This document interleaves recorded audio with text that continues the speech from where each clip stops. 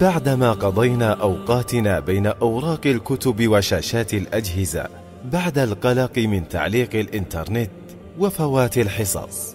ها هي الإجازة قد أقبلت تحمل في طياتها الكثير من الفرص التي تسعدنا وتنسينا عناء الأيام الماضية. افرح بإجازتك. ابتسم. أسعد من حولك. قدم كل ما في وسعك لإرضاء ربك وإسعاد ذاتك. وتنمية مواهبك وتعزيز مهاراتك.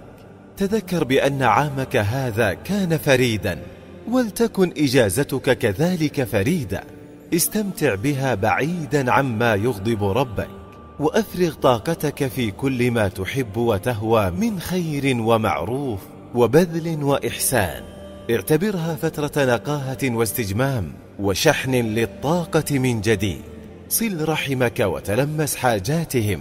خطط لبرامج مبهجة تروح عن عائلتك. كن شعلة النشاط وشمس السعادة التي تشرق على قلوبهم. كن فرحا يسري على الأرض ويغرس أثره في كل خطوة يخطوها. كن أملا يمر على الأيادي الباهتة فيلونها بالجمال.